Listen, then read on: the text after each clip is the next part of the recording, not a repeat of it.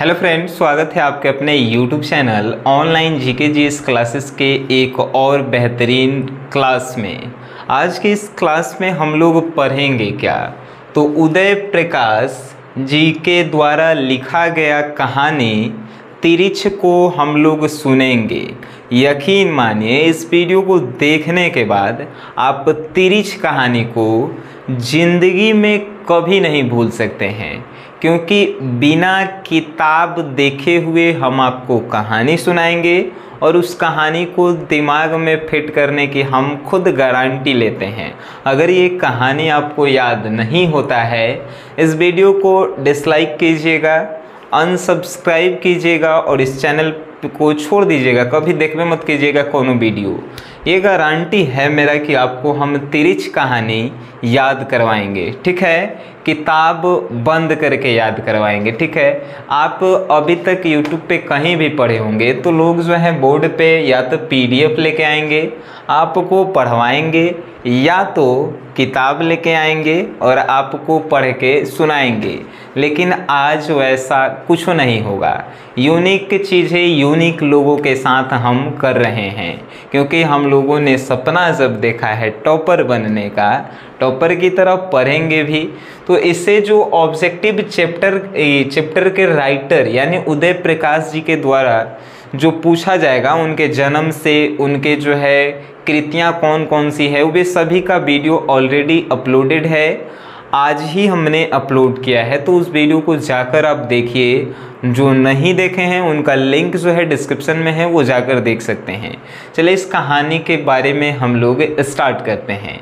तो पहले इस कहानी की परिचय तो यह कहानी जो है, बाप और बेटे के उस दर्द को दर्शाया गया है, जिसमें बाप और बेटे गाँव में रहते हैं। और गाँव से जब बढ़ते हुए शहर की तरफ़ जाते हैं तो शहर का डर जो एक गाँव के व्यक्ति में बना रहता है कि शहर में जाते हैं तो ऐसे होता है, वैसे होता है तो वही घटना को जो है इस कहानी में बताया गया है। कहानी की शुरुआत होती है लेखक से। लेखक कहते हैं कि इस कहानी का, यानी तिरिछ कहानी का संबंध मेरे पिताजी से है, मेरे सपने से हैं और शहर में, शहर के बारे में सोचने वाले उन सभी लोगों से है। तिरिछ कहानी का संबंध लेखक के पिताजी से है, लेखक के सपने से है और शहर के बारे में सोचने वाले डरावना डरावना सोचने वाले कि शहर में जाएँगे तो ऐसे होता है, वैसे होता है, उन सभी लोगों से है। कहानी की शुरुआत करते हैं। तो कहानी की शुरुआत उससे होती है जहाँ पे लेखक के पिताजी की उम्र जो है, पचपन साल के होते हैं। लेखक के पिताजी पचपन साल के होते हैं और लेखक के पिताजी बोलते कम हैं और सोचते ज़्यादा हैं। बोलते कम हैं और सोचते ज़्यादा हैं, लेकिन उनके पिताजी को जो है पूरा गाँव जानता है, पूरा गाँव जानता है और उनकी खामोशी में ही जो है उनका पूरा ज्ञान छुपा हुआ है। ठीक है? लेखक कहते हैं कि हमें अपने पिताजी पर गर्व है कि पिताजी जो हैं, हमारे रक्षक हैं, हमारे देखभाल करते हैं, भले कुछ नहीं बोलते हैं, लेकिन जब भी बोलते हैं, हमको राहत महसूस होती है।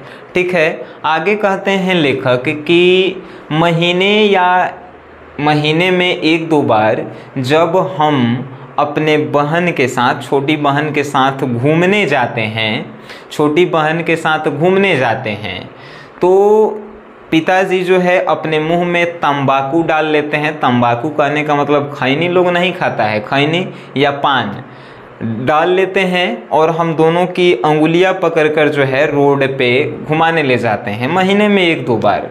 तो सब घुमाने ले जाते हैं तो मेरी जो छोटी बहन है उसका प्रश्न कुछ ज़्यादा ही होता है। जैसे कि हम लोग भी अपने छोटे भाई बहन को घुमाने ले जाएँगे तो पूछता है सब नहीं कि देखिए वो पेड़वा पे जो है वो चिड़िया है, उसका का नाम है? वो दीवार पे लिखा हुआ है, उसका का नाम है? ऐसे पूछते हैं। तो उसी प्रकार लेखक की बहन जो छोटी होती है, वो भी प्रश्न जो है बार बार रास्ते में करते रहती है।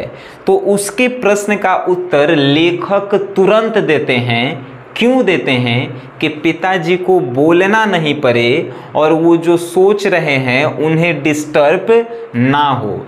इसीलिए जो है वो तुरंत, जैसे ही उनकी बहन क्वेश्चन पूछती है, तब पिताजी के आंसर देने से तुरंत तुरंत पहले ही जो है आंसर लेखक दे देते हैं और प्रश्न भी जो है छोटा छोटा होता है कि भैया वो जो पेड़ पे चिड़िया बैठी है, उसका क्या नाम है? ऐसा ऐसा प्रश्न होता है। तो ये जल्दी आंसर दे देते हैं जिससे पिताजी को बोलना ना पड़े और वो जो सोच रहे हैं, जिस दुनिया में अभी हैं, वहाँ से उनको डिस्टर्बेंस महसूस नहीं हो। ठीक है? लेकिन कभी कभी पिताजी की चुप्पी जो है, लेखक को अंदर ही अंदर जो है अंदर ही अंदर तरपा देती है।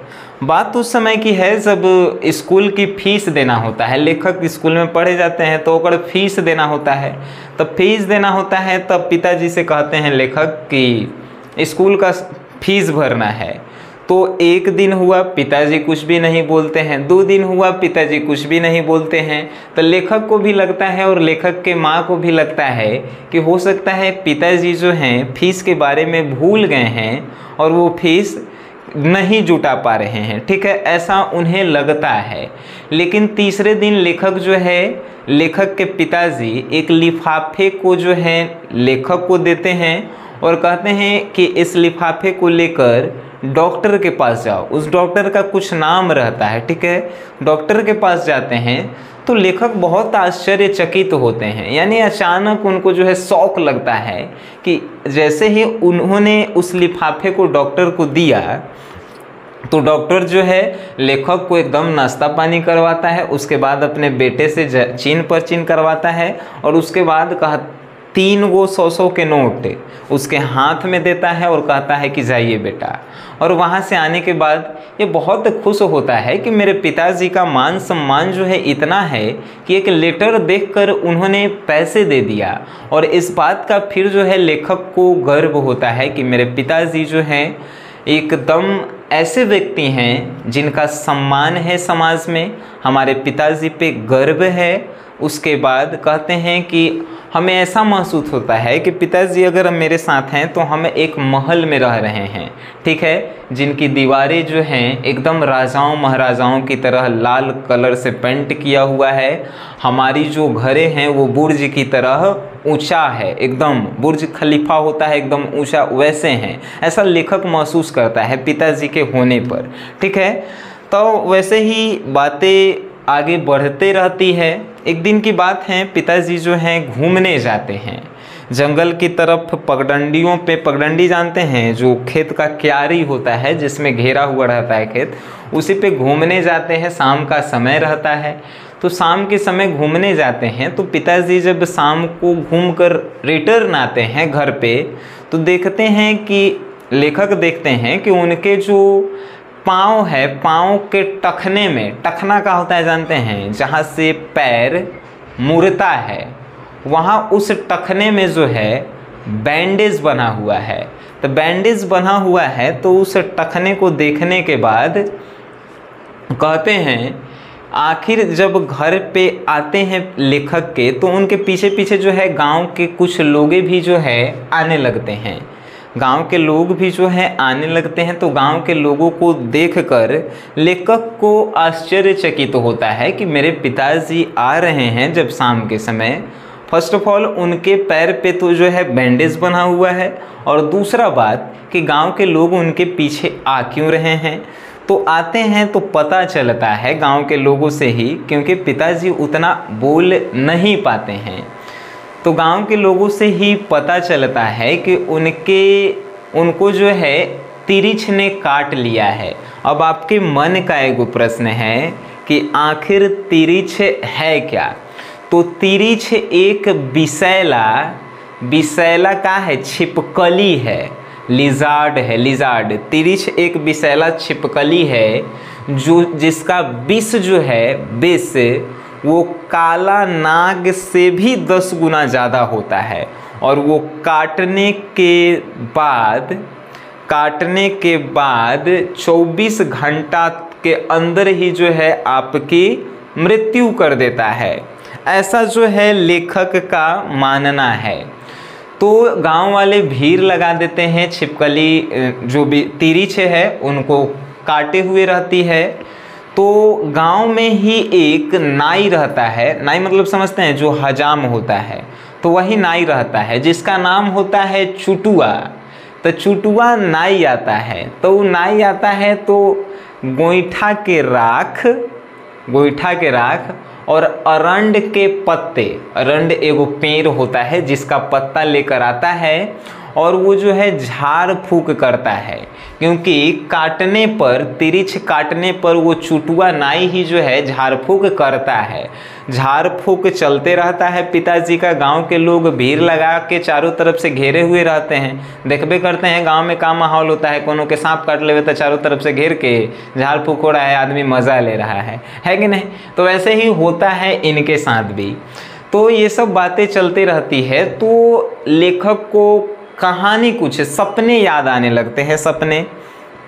कि हमको, हम भी जो है, सपने तिरिच के बारे में देखते हैं कि सपना में जो है, हम जंगल में रहते हैं और जंगल में जो है, तिरिच हमको काटता है, हम छटपटाते हैं। और जैसे ही काटने वाला होता है तिरिच, जैसे ही हम उठ जाते हैं चिल्ला चिल्ला के सपने में जाग, चिल्लाते रहते हैं तो उठ जाते हैं।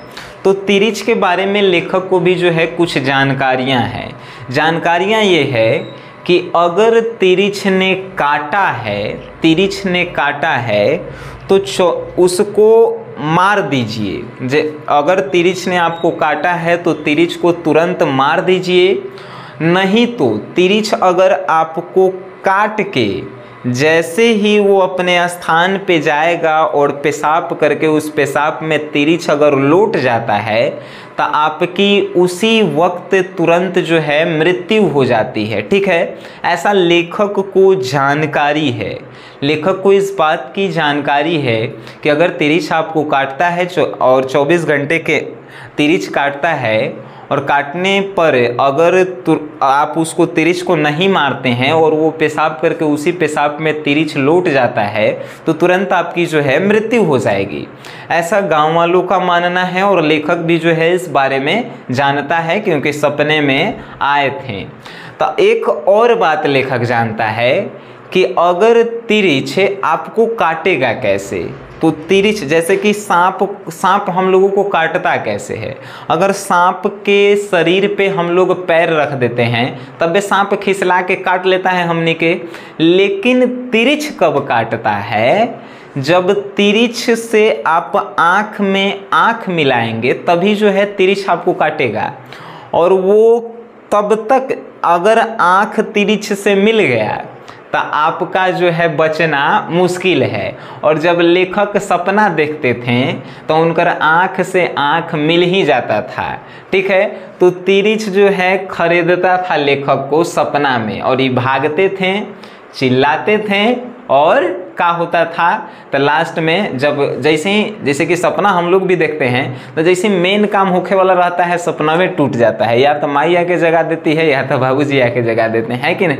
उसी प्रकार लेखक के साथ भी होता है। जैसे ही उसको काटने वाला होता है, जैसे ही सपना में एकदम चिल्ला चिल्ला के जो है, उठ जाते हैं सपना में। ठीक है? तो लेखक के बारे, लेखक इतना जानते थे, जो अभी हमने बताया कि तिरिच अगर आपको काटता है तो उसको मार दीजिए, नहीं मारेंगे तो वो पेशाब करके अगर पेशाब में लौट जाता है तो आपकी मृत्यु हो जाएगी। तो इसी लेखक का ही एगो दोस्त था दोस्त था, जेकर नाम था थानू। थानू नाम था जो बहुत अच्छा लेखक के दोस्त हैं इस कहानी में। दोस्त हैं तो थानू कहता है कि अगर तिरिछ आपका पीछा कर रहा है, यानी कि तिरिछ से आपका आँख मिल गया और वो आपका पीछा कर रहा है तो क्या करेंगे?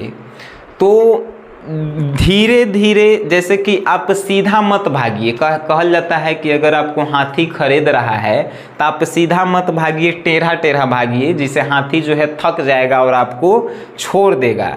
ठीक है? अगर हाथी खिसला जाता है और आपके पीछे पीछे भाग रहा है मारने के लिए तो आप सीधा मत भागिए, क्योंकि सीधा हाथी आपसे भी जो है तेज दौड़ता है।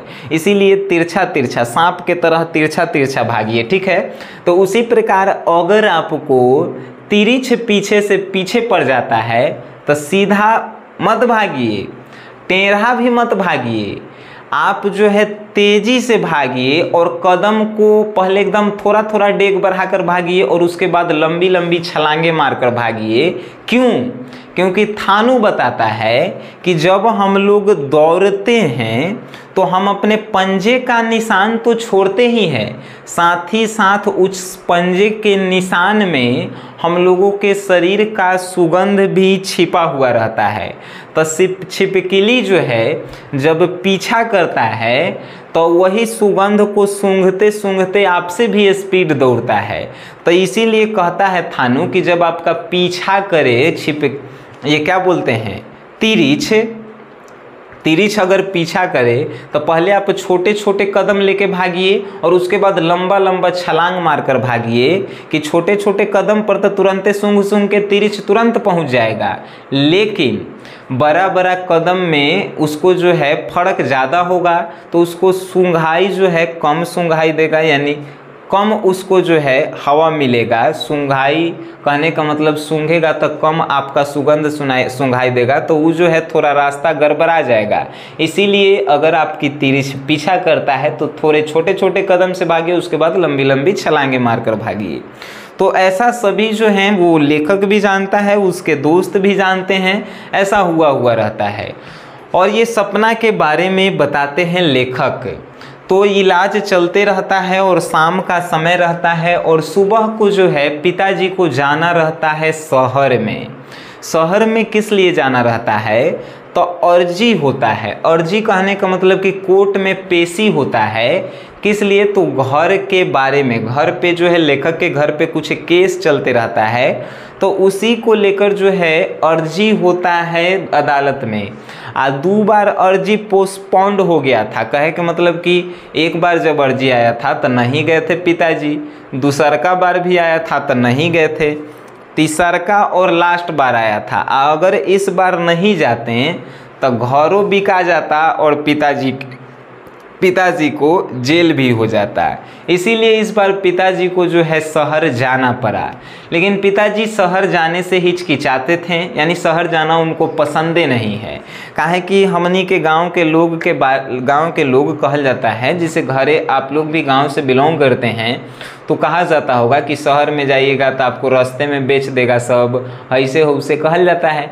तो पिताजी को भी जो है, लेखक के पिताजी को ये डर सताते रहता था, जिसके कारण वो जाना नहीं चाहते थे। लेकिन ये जो है लास्ट पोजीशन था, अगर नहीं जाते तो जेल भी होता और उन्हें उनका घर भी जो है बिक जाता, छिना जाता। ठीक है? तो लास्ट जो है पोजीशन में इन्हें जाना पड़ता है।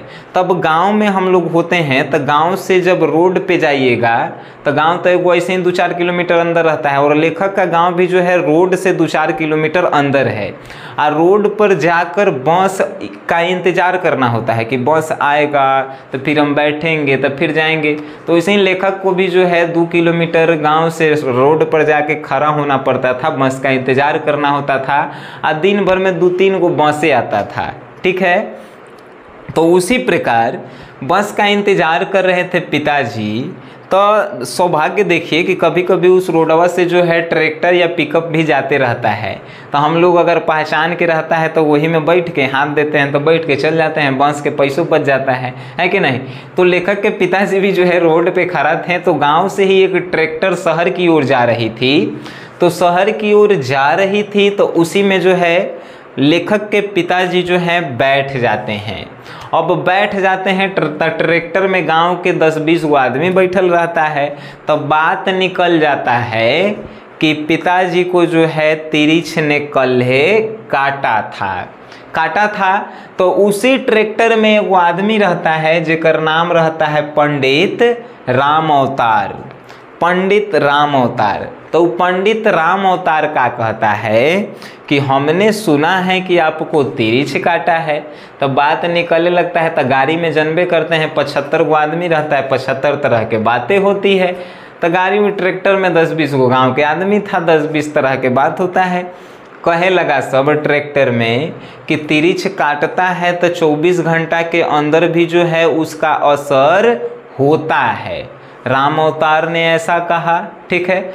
अब उसके दूसर व्यक्ति कह रहा है कि ठीक किया आपने, तिरिच को मार दिया, लेकिन तिरिच को मार कर आपको जला देना चाहिए था। आपने जलाया कि नहीं? तो ये कहते हैं कि हम नहीं जलाए हैं। तो नहीं जलाए हैं तो तिरिच जो है आपका एगो फ़ोटो खींच लिया होगा।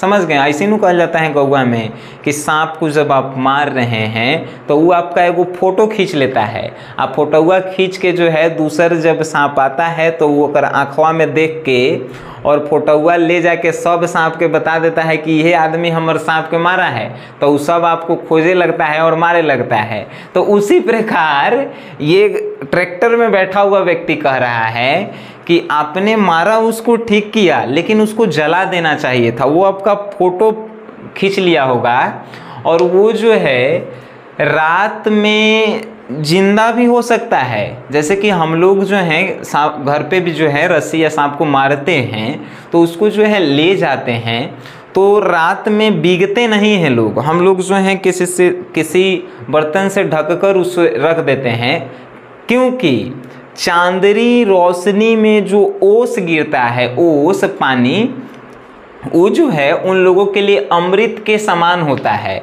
और अगर ओस गिर गया तो वो लोग ज़िंदा भी हो सकता है। तो ट्रैक्टर में ये ऐसा नहीं ऐसा नहीं तो गाँव के आदमी भरा रहता है। वो कहता है सब कि आपने मारा ठीक किया, लेकिन उसको जो है नहीं जलाएँ तो हो सकता है कि रात में ज़िंदा हो गया होगा। और जब ज़िंदा हो गया होगा तो समझिए कि वो आपको ढूंढ भी रहा होगा। तो ढूंढ रहा होगा तो इस बात का एगो अलग टेंशन। तो अब सोच रहे हैं लेखक। लेखक अपने पिताजी, ये सब जो हैं, लेखक सोच रहे हैं, घरे बैठल। अब पिताजी जो है, गाड़ी में जा रहे हैं। पिताजी के पास दो गो ऑप्शन। या तो हम लौट कर जाएँ और तिरिच को जलाकर आएँ। दूसरा ऑप्शन, कि हम अर्जी के लिए जाएँ, अदालत में नहीं तो आज मेरा जेल भी हो जाएगा और घर भी बिक जाएगा। तो उहे में जो है, जैसे गाँव के आदमी से बतियाइएगा तो गाँव के आदमी डॉक्टरों से ज़्यादा जानता है। तो ये पंडित राम अवतार जो है, ये पंडित राम अवतार ई वैध था। वैध कहे के मतलब डॉक्टर था जो, जड़ी बूटी से जो है इलाज करता था। तो ये कह रहा है कि विष का इलाज जो है विष से ही होता है। जिसे कहल जाता है कि लोहा लोहे के काटता है तो पंडित राम अवतार कहते हैं कि विष का इलाज जो है विष से ही होता है। तो का तो जब धतूरा धतूरा जानते हैं जी, एक पौधा होता है जिसमें से उजला उजला दूध टाइप का कुछ निकलता है। तो कह रहे हैं कि धतूरे के अगर बीज यहाँ पे मिल जाए और उसको जो है पीस कर आप पी लें तो हो सकता है कि आपकी जान जो है बच जाए। तो ट्रैक्टर चलते रहता है, एगो गाँव में रुकता है। गाँव में रुकने के बाद खेत में जो है धतूरा के बीज को खोजा जाता है। खोजने के बाद उसको उसी गाँव में जो है पिसवाया जाता है और धतूरा के बीज करवा होता है तो कोई पी नहीं सकता है। इसीलिए चाय बना के, धतूरा के बीज उसमें डाल के और लेखक के पिताजी को पिलाया जाता है। पिलाया जाता है तो अब गाड़ी गाड़ी ट्रैक्टर जो है आगे बढ़ती है। ट्रैक्टर आगे बढ़ती है तो आगे चल के अब कुछ जो है, इनको लेखक को मालूम नहीं चलता है। तो नहीं चलता है तो पंडित राम अवतार घरे आते हैं। घरे आते हैं तो लेखक पूछते हैं कि पिताजी शहर पहुँच गए तो पंडित राम अवतार कहे थे कि टोल टैक्स पे जब ट्रैक्टर उतरा था, उस समय साढ़े दस के आसपास, पौने दस के आसपास हो रहा था। उस समय हमने पिताजी को वहाँ टोल टैक्स के पास वहीं से जो है वो चलाया था पंडित राम अवतार। तो कहा कि वहाँ तक देखे थे और वहाँ पे आपके पिताजी उतरे थे तो उतर के पेशाब करने गए थे तो उनका जो है वो कह रहे थे कि सिर मेरा घूम रहा है, सिर घूम रहा है। उसके बाद राम अवतार के काम खत्म हो गया। अब मास्टर नंदलाल जी, मास्टर नंदलाल जी घरे आते हैं तो लेखक उनसे पूछते हैं कि पिताजी का हालचाल क्या? वो शहर में पहुँच गए। तो नंदलाल जी कहते हैं कि हमने उनको साढ़े दस बजे के आसपास मिनरवा टॉकीज शहर में उतरते हुए देखा है, और वो जब वो उतरे थे तो उनकी हालत जो है थोड़ी खराब थी, सिर चकरा रहा था और प्यास लगी हुई थी, प्यास लगी हुई थी। ठीक है तो मास्टर नंदलाल साढ़े दस बजे बताएँ कि मिनरवा टॉकीज़ तक आपके पिताजी रुक उतरें, उनकी सिर घूम रही थी, प्यास लगी हुई थी। उसके बाद लेखक को कौनो जानकारी नहीं होता है और बुधवार 17 मई 1972 को उसी दिन शहर में लेखक के पिताजी का जो है, मृत्यु हो जाता है। लेखक के पिताजी का मृत्यु उसी दिन हो जाता है 17 मई 1972 को। तो जैसे देखिए, शहर में मान के चले कि मेरा ही कोई भाई जाता है और उसका कुछ, उसके साथ कुछ हो जाता है तो वो भले बताए या ना बताए, लेकिन सूत्रों के मुताबिक कहीं ना कहीं, कहियो न कहियो कुछ पता चल ही जाता है। तो लेखक को भी जो है पिताजी के मृत्यु के बाद सूत्रों से जो है कुछ जानकारी मिली और लेखक अपने पिताजी को बहुत प्यार करते थे, सबको ही करता है। तो लेखक को जानने की भी इच्छा हुई कि आखिर शहर में हमारे पिताजी की मृत्यु कैसे हुई। तो जानने की इच्छाएँ वो जताते रहा। तो रमेश दत्त, जो बैंक के एगो कर्मचारी थे, गाँव के ही थे तो बैंक के कर्मचारी थे तो ई जब काम उम के बाद लेखक जो है शहर में जाते हैं तो पता लगाते हैं तो ये रमेश दत्त बैंक के कर्मचारी थे तो इनके पास जब गए तो ये कहें कि हाँ पिताजी, जैसे कि इन्होंने अनुमान लगाया कि रमेश दत्त के यहाँ गए होंगे पिताजी, क्योंकि ये गाँव के एगो कर्मचारी है, और स्टेट बैंक में ही जो है, जैसे कि ये ग्रामीण विकास बैंक के सहकारी में काम करता था, लेकिन स्टेट बैंक देखा तो उसी में जो है इसके पिताजी घुस गए। लेकिन ये रमेश दत्त जो है, पैसा काउंटर पे काम करता था, यानी पैसा गिनता था। हम लोग जिसे पैसा बैंक में कैसे जमा करे जाते हैं? तो इसी रमेश दत्त पैसा काउंटर पे काम कर रहा था, और 1972 की बातें हम कर रहे हैं, उन्नीस सौ बहत्तर में। बैंक में रमेश दत्त अट्ठाईस हज़ार रुपया के गड्डी गिन रहा था। समझ रहे हैं, उस समय अट्ठाईस हज़ार रुपया की हम बातें कर रहे हैं। 1972 में बैंक में रमेश दत्त अट्ठाईस हज़ार रुपया मूड़ी गाड़ के गिन रहा था, एकदम ऐसे गिन रहा था। अचानक लेखक के पिताजी उसके यहाँ जाते हैं तो लेखक के पिताजी का मुँह जो है धूरी से लपेटा हो, लपेटा हुआ कहने का मतलब कि शहर में इतना धूरी पड़ता है कि रियल में आप जाइएगा तो खुद नहीं चिन्हाइएगा। तो लेखक के पिताजी नहीं चिन्हाते हैं और जैसे ही रमेश दत्त मूड़ी ऊपर उठाते हैं तो वो डर जाते हैं। डर के एक बार चिल्लाते हैं और बैंक में वो हॉर्न होता है जिसको बजा देते हैं। कहते हैं कि देखो कौन तो चोर डाकू आ गया, पैसा को छीनने आ गया। तो छीनने आ गया तो वो बैंक में एगो चपरासियो रहता है। तो बैंकों में चपरासी था, जेकर नाम था राम किशोर तो राम किशोर तुरंत आता है और घसीटते हुए ले जाता है और मारता पीटता है सब केकरा लेखक के पिताजी को। लेखक के पिताजी को जब मारता है सभी सब चपरासी तो ओकर एगो होठ जो है कट गया रहता है। होठ कट गया रहता है, खून उससे निकलते रहता है।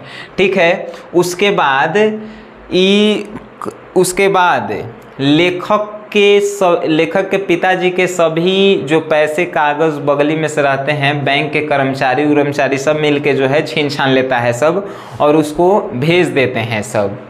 अब आगे लेखक बैंक के आगे जो है दुकान उकान रहता है। तब एगो पान के दुकान था और ओकर नाम था बुन्नू। जैसे पान के दुकानवा में जो लड़का या आदमी था, ओकर नाम था बुन्नू। तब बुन्नू से फिर बैंक के निकलने के बाद, रमेश दत्त से बातचीत करने के बाद, रामकिशोर से बातचीत करने के बाद अब रमेश दत्त कहते हैं कि हम अगर पहचानते कि आपके पिताजी जो हैं तो हम ऐसा व्यवहार नहीं करते। अच्छा चपरासी कहता है राम किशोर कि हम मारे उरे नहीं थे आपके पिताजी को। अब हम कोनो के मारेंगे, तब बताएँगे ओकर बेटा से कि हाँ हम तुर बाबू के मरले थे। राम किशोर डरे नहीं बता रहा था। लेकिन ये पान की दुकान जो बुन्नू के था बैंक के आगे वो कहा कि जब पिताजी बैंक से बाहर निकले तो उनका ओठ कटा हुआ था, कपड़ा उपड़ा फट गया था, ठीक है, और उनकी सभी शायद शायद उनके पैसे उसे जो हैं, सभी लोग छीन लिए थे। ऐसा उनके मुँह से निकल रहा था। शायद बुन्नू ज़्यादा बोल रहा था। काहे? काहे कि एकरो डर था कि हमर बैंकवा के आगे जो है दुकान है, अगर बैंकवा वाला के बारे में शिकायत करेंगे तो हमार दुकानवे नहीं हटा देवे। इसीलिए बुन्नू डरे हुए कह रहा था कि शायद बैंक वाले लोग जो हैं, पिताजी के बगली से पैसा जो है, कागज़ वो सब निकाल लिए थे। ऐसा जो है बुन्नू कह रहा है। तो बुन्नू की बातें अब आगे होती है। तो बुन्नू जो है वहाँ से देखता है, लेकिन कुछ इग्नोर कर देता है। तो पिताजी फिर अनुमान लगाते हैं कि पिताजी जो हैं, बैंक से निकलने के बाद थाना में गए होंगे। तो थाना में गए होंगे तो थाना में जाने के बाद उन्होंने, हो सकता है, बैंक वालों के खिलाफ रिपोर्ट लिखवाई होगी, ऐसा लेखक सोचते हैं। तो थाना में जाते हैं तो थाना के एच एस ओ जेकर नाम रहता है राघवेंद्र प्रताप सिंह। राघवेंद्र प्रताप सिंह जो है उस दिन थाना में थे और करैला के भुजिया उनकर घरे से बन के आयल था, ठीक है? तो लेकिन राघवेंद्र प्रताप सिंह के करैला के भुजिया पसंद नहीं था। औरत से तेरह साल के शादी हाँ तेरह साल शादी के हो गया था और उनकर बीबी के इतना नहीं पता था कि हमारे पति के का पसंद है खाने में और का नहीं पसंद है। तो राघवेंद्र प्रताप सिंह को उस दिन टिफ़िन में मिलल था करैला के भुजिया। तो करैला के भुजिया से ऐसे ही राघवेंद्र प्रसाद जी के जो है, माथा चकबगा गया था कि भोजन आज आया है, करैला के आया है जो हम खा नहीं सकते। तो मूड जो है बिगड़ गया था। तो उसी समय लेखक के पिताजी वहाँ पहुँच जाते हैं राघवेंद्र प्रताप सिंह के टेबल पर। जैसे ही एक कबर उठावे वाला रहते हैं वो तो बेचारा के खाए के मन नहीं रहता है। और जैसे ही एक कबर खाए के मन करते हैं, जैसे ही जो है पहुँच जाता है लेखक के पिताजी। तो ओकरा लगता है कि कोई आ गया है भिखारी, पूछते हैं कि का काम है? तो कुछ नहीं बोलता है खाना उना है, नहीं। तब फिर जो है, चिल्लाते हैं। राघवेंद्र प्रसाद, प्रताप सिंह के मियाज ऐसे ही खराब है, जन्मे करते हैं करैला के भुजियल। तो कह रहा, तुरंते जो है, अपन सिपाही गजाधर शर्मा के बुलाता है। कि अरे, तुरा रहते हुए ये अंदर कैसे चला आया? ऐसे ही कहता है सब दरोगवन गजाधर शर्मा, जल्दी एक बाहर ले जाओ। गजाधर शर्मा जो है, थाना में से घसीटते हुए उसे बाहर ले जाते हैं। बाहर ले जाते हैं और उसे छोड़ देते हैं। ठीक है? अब आगे। आगे वहाँ से जो है, लेखक के पिताजी एक कॉलोनी में जा, एक कॉलोनी में जाते हैं, जो बहुत इज्जतदार कॉलोनी होता है, जिसमें कभी भी लड़ाई, झगड़ा या हल्ला गुल्ला नहीं होता है। तो उस कॉलोनी में जाते हैं तो वहाँ पे रिटायर्ड तहसीलदार सोनी साहब रहते थे, बहुत सारे वहाँ पे लोग रहते थे, सब जो है जॉबे वाला रहता था। तो रिटायर्ड सोनी साहब से बातचीत करने पर लेखक को पता चला कि पिताजी यहाँ पर आए थे। उनके बदन पे जो है सिर्फ़ एक पैंट था, बाकी कपड़ा उपड़ा नहीं था। तो वो लोग समझा कि पागल उगल थे और गाली उली जो है दे रहे थे। ठीक है, यानी कि मुँह से गाली उली बक रहे थे। लेकिन लेखक को अपने पिताजी पर भरोसा था कि पिताजी जब कुछ बोलते नहीं थे तो वो गाली कैसे दे सकते हैं। तो वही कॉलोनी में वो कवि सत्येंद्र थपरियाल थे। नामों है सबके बिगल बिगल। तो नाम एक है सत्य कवि सत्येंद्र थपरियाल। तो कवि सत्येंद्र थपरियाल से बात करने पर लेखक को पता चला कि पिताजी वो गाली नहीं दे रहे थे। वो कह रहे थे कि मैं रिटायर्ड कर्मचारी हूँ, रिटायर्ड प्रधान अध्यापक हूँ अपने स्कूल का और मैं अपने गाँव का जो हूँ, सरपंच, मुखिया हूँ, ठीक है? ऐसा वो कह रहे थे चिल्ला चिल्ला के, लेकिन उन्हें, उनकी आवाज़ें जो है कोई नहीं सुन रहा था। सत्येंद्र थपरियाल से जो है बातचीत करने पर किसको लेखक को पता चलता है, उदय प्रकाश जी को, कि गलिया, यानी गाली नहीं दे रहे थे, वो कह रहे थे कि मैं रिटायर्ड प्रधान अध्यापक हूँ, मैं जो हूँ, अपने गाँव का मुखिया हूँ, ऐसे कह रहे थे। तो ऐसे कह रहे थे, लेकिन कभी सत्येंद्र थपरियाल को जो है कहीं जाना था तो वो गाड़ी में से निकले नहीं क्योंकि उनको लेट हो रहा था और वो वहाँ से चल जाते हैं। लेकिन कहते हैं लेखक से कि अगर हम जानते कि आपके पिताजी हैं तो हम ऐसा नहीं करते हैं। अब ऐसा कहें कि आप क्या कीजिएगा। चलिए आगे। आगे जो जब रस, सत्येंद्र थपरियाल चल जाते हैं तो उनका जो है कहते हैं, आगे मालूम उनको चलता है कि जब कॉलोनी में आए थे तो लड़के उन पे ढेला मार रहे थे और उनको जो है बड़ी बेजती कर रहे थे, गाली उली दे रहे थे। काहे मार रहे थे मालूम करने पर पता चला कि लेखक के पिताजी जो है राम रतन सर्राफा, रामरतन सर्राफा के बीबी और साली पर जो है गंदा नज़र से देख रहा था, गलत व्यवहार कर रहा था। इसी से लड़के जो हैं काची ढेला मार रहे थे। लड़के से बातचीत करने पर जो है लेखक को पता चला कि हम लोग इसलिए ढेला मार रहे थे क्योंकि राम रतन के बीबी और साली पे जो है उनका गलत नज़र था। लेखक ये भी जानते हैं कि जब मेरे पिताजी गलत दे, बोल नहीं सकते हैं, गलत देख नहीं सकते हैं तो उनको गलत कोई पे नज़र क्यों होगा? तो वो सोचते हैं लेखक कि राम रतन सर्राफा के यहाँ उनके बीबी से जो है पानी पीने के लिए क्योंकि प्यास लगी थी पानी मांगने गए होंगे तो वहाँ पे जो है उनकी बीबी जो है गल, उनको पागल के भेष में देख कर चिल्लाई होगी। तो लड़के आई गरी जानबे करते हैं कि लड़की थोड़ा सा भी बोल देती है तो लड़का लोग जो है वहाँ पे का हो जाता है। तो यहाँ पे लड़का लोग समझ रहा है कि वो जो है उनकी बीबी और साली पे गलत नज़र रख ले है। लेकिन ऐसा नहीं था, ठीक है?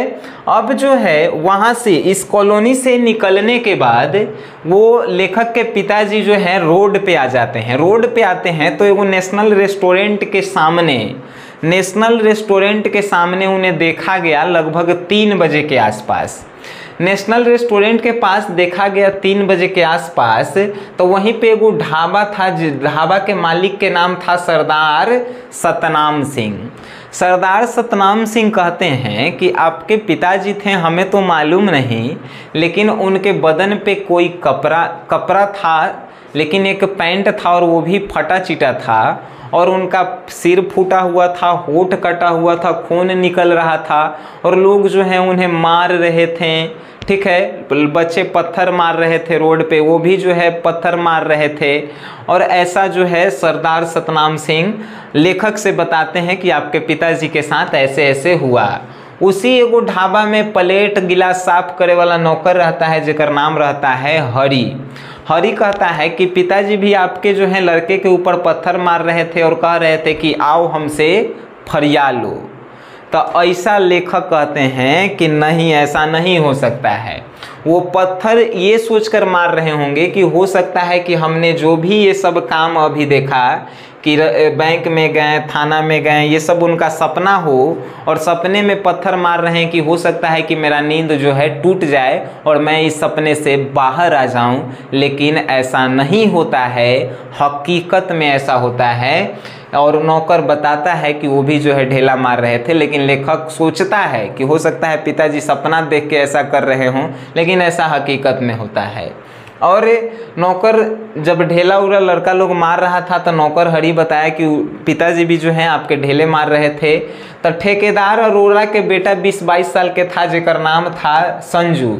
ठेकेदार मतलब कि रोड पर तसीली करे वाला तो संजू जो है, दो तीन रोड पिताजी के सिर पे मार देता है और पूरा सिर जो है फट जाता है और जब तक मारते रहता है उसके पिताजी को, तब तक कि वो रोड पर से उठते नहीं हैं।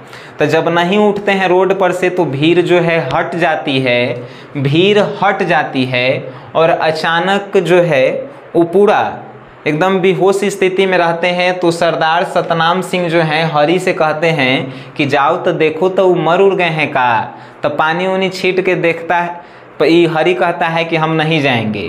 कहा कि हमको डर लग रहा है कि पुलिस ना आ जाए।